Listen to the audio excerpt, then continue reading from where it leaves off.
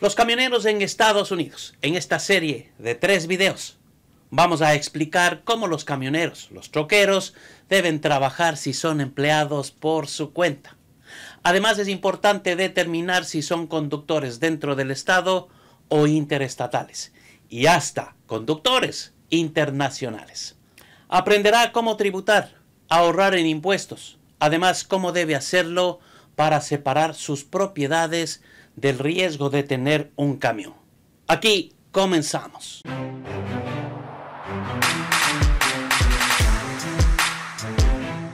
Suscríbase a este canal para que esté bien informado.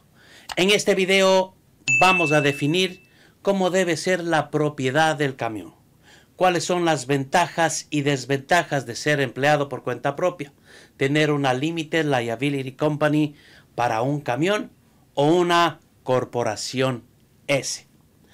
Iniciaremos de la forma más sencilla, el empleado por cuenta propia, el sole proprietorship. Preste atención cómo tributa el propietario del camión. Cuando usted compra un camión a su nombre e inicia en esta gran aventura de ser camionero en los Estados Unidos, usted va a recibir generalmente una forma 1099 NEC. Aquí comenzamos con el cálculo y la declaración de impuestos para aquellas personas que presentan su declaración como sole proprietorship, la opción 1 que habíamos manifestado, que era the sole proprietorship, y la opción 2 que es un single member LLC. La opción 3 de la corporación S no la vamos a ver aquí. Debe presentarlo en una forma 1120S y ya un profesional tributario debe ayudarla con esta preparación de impuestos. Número uno, las entidades, sean sole proprietorship o limited liability company LLC, tiene esta forma. Por ejemplo, Carlos Ramírez. Y tomemos en cuenta que yo tengo una LLC para ir explicando las dos opciones. Todos los camioneros tienen que tener su número federal.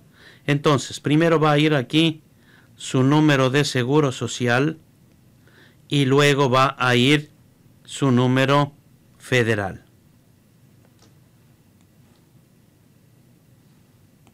Y luego va a ir acá su número federal.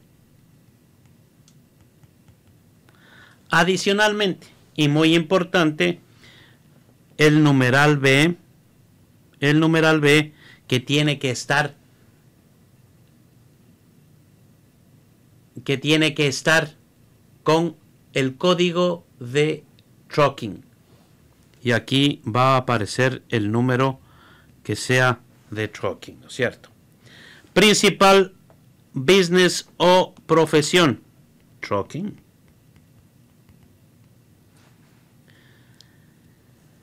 Y si es que tiene una LLC, vamos a corregir esta parte de acá. Y si tiene una LLC, Business Address, ¿dónde está localizado? Generalmente, generalmente es su casa, porque usted es empleado por cuenta propia, excepto que, que tenga una compañía de varios camiones donde tenga un garaje y pague renta por este. Si es que paga renta por su camión y no lo guarda en su, en su casa, que es usual, entonces ya vamos a poner el gasto de renta. El método de contabilidad que usted utiliza va a ser de cash, de contado, efectivo. Y me preguntan si es que usted es el chofer. En Did you material participate? Sí. ¿Y dio estar a business? Si es que compró en este año el camión, sí. Y si no, no contesta. Si tiene un chofer y no le pagó la forma W2 que debió haberle pagado, como ayudante, le va a entregar una 1099 y va a manifestar que sí le dio y que sí envió al IRS. Y a su vez puede decir que no y que no si es que no tuvo esta colaboración o ayuda. Si es que tiene un pasajero como su cónyuge que va con usted en los viajes, no necesita pagarle. No necesita pagarle. Ahora, si es que sí le paga por esta actividad, entonces necesita extenderle una forma 1099. Aquí se puede analizar diferente, porque si ella o él, los cónyuges, son miembros de la LLC, entonces deberían recibir otro tratamiento. No le puede dar 1099, solamente si el cónyuge trabaja para usted como un empleado, como un ayudante y no es miembro de la LLC. Para la corporación trabaja completamente diferente. Y si usted trabaja como sole proprietorship, también le podría dar a su cónyuge o pagarle salario o darle una 1099. Bien, donde dice Gross Receipt por Sell, la línea 1. Generalmente a los choferes se les extiende la forma 1099 NEC, suponiendo que esta forma 1099 NEC tiene un valor de 280 mil dólares. Ese es el valor que vamos a poner en la línea 1. Y nada más, porque usted no hace servicios cash, no es Uber con el camión, nada por el estilo. Entonces, usted ganó 280 mil dólares. Ese es su gross income, el, ingreso bruto, el ingreso que tiene en la forma 1099 NEC. Puede tener una, dos o tres de la misma actividad. Se deben sumar la una, la dos y la tres y poner el total. No necesita hacer otra declaración aparte por cada compañía para la cual usted trabajó. Esos 280 mil se van a ver en los gastos, en los gastos. Y tenemos que tomar en cuenta. En el próximo video voy a explicar de esta parte que es tan importante, tan importante, los meals, el per diem.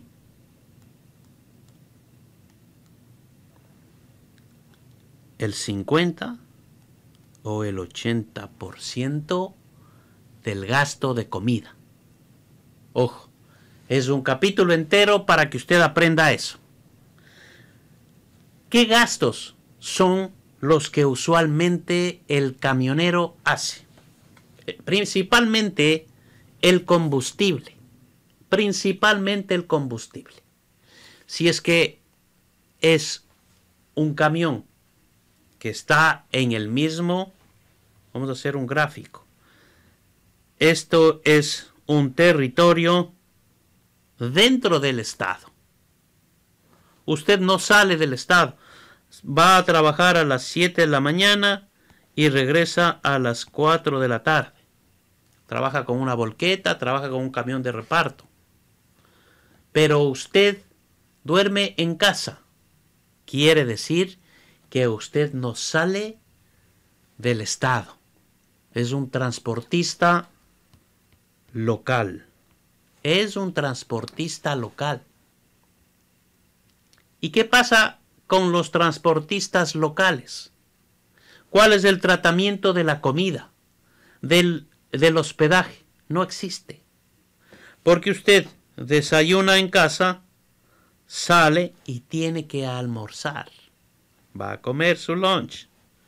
Se para se reúne con sus amigos, come y luego va a hacer esto y regresa a casa y pernocta. Quiere decir, duerme en su casa, en su tax home. Aquí se analiza comida comercial. Comida comercial. Usted se reúne conmigo y me dice, mire, a usted para hacer la demolición de esta oficina y llevarme esto, le voy a cobrar X cantidad de dinero y nos estamos reuniendo en Panera y usted paga 30 dólares por el lunch. Esto es una comida de negocios. Diferente cuando usted sale del taxcom, que lo vamos a poner acá. estamos hablando del asunto de los meals, de la comida. Aquí no se define comida comercial. de negocios. Yo no tengo con, para qué reunirme. Yo voy, salgo del estado, llego al estado vecino y me hospedo en un hotel. Desayuno, almuerzo y cena. Pero esto es el costo del per diem. Y, la, y el siguiente video explica con lujo de detalles lo que usted debe hacer. Aquí se deduce el 50% del valor de la comida que tiene una conexión comercial, un propósito de negocios. En cambio acá es su comida. El chofer tiene que comer, tiene que descansar, no es un robot. Y está fuera de su tax home. También se hacen cuenta medios días, la mitad. Entonces, también lo explicamos en el, en el video anterior, en el video siguiente. Advertising no. Car truck expenses. Car truck expenses es su gasto número uno. Y en Car truck expenses tenemos que parar, porque aquí utilizamos las millas. Las millas son para cuando el camión, el auto, comparte. El auto se utiliza para Uber, se utiliza para que la señora vaya a hacer las compras al, supermercado y usted utiliza para ir a visitar a sus amigos, para ir a jugar soccer, fútbol, pero no es exclusivo. Y los gastos totales cuando se utiliza un camión. Un camión debe tener los siguientes gastos. Combustible, reparaciones, depreciación. ¿Qué es la depreciación? Un camión tiene una vida útil de un año, dos años, tres años, cuatro años, cinco años. Me costó 50 mil. Yo puedo depreciar cada año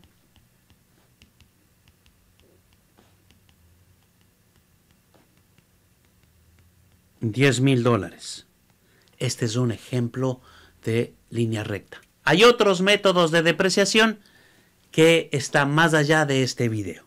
Entonces, esto tiene que ser reclamado. Ahora, en las reparaciones, ojo con esto. Si usted es la persona que repara, usted no puede pagarse. Porque si se pagaría, generaría otro ingreso como mecánico y debería reportarlo por separado de esto. Así que las reparaciones están incluidas en su salario. El total de, las, de los car expenses están aquí y fueron 80 mil dólares. Y aquí viene la depreciación, fueron 10 mil dólares. Y si tenemos el insurance, ¿por qué dice other than health? Usted como empleado por cuenta propia o LLC single member puede pagarse su seguro de salud o de Obamacare, pero después de pagar el impuesto del self-employment. El, el, seguro del camión le costó 10 mil dólares. Legal and professional fees, ¿cuánto le cobraron por preparar los impuestos? Office expenses. Office, si usted tiene... Ahora, usted puede deducir el método simplificado de la oficina en casa. Máximo 300 pies a 5 dólares, que esto le va a dar 1.500 dólares de uso de casa. El teléfono celular serían otros gastos, sus uniformes y otros expenses, vamos a poner 1.500 dólares. Estos son los gastos totales que usted podría gastar. 80 mil de gasolina más 10 mil dólares de depreciación más 10 mil dólares de insurance, más 500 dólares de la preparación de los impuestos, más 1.500 dólares del home office. Entonces, 102 mil dólares en gastos. Y el total que teníamos era 280 mil. 280 mil nos queda un profit de 178 mil dólares. Y todo esto está sujeto al self-employment tax hasta aproximadamente 140 y algo de miles, más el Medicare que es ilimitado. Ojo, podemos tener una corporación S que evite que pague el self-employment tax de 140 mil y el Medicare ah, ilimitado, podemos tener un salario si tenemos una corporación S y ahorrar más impuestos. Siga viendo estos videos que le enseñan a usted a determinar cómo tributan los camioneros. No se pierda el video que hablaremos sobre el per diem, sobre la opción de los mills, la opción del 80% o del 50%. Recuerde, este video es ilustrativo para usted. Muchas gracias. Nos vemos en el siguiente episodio.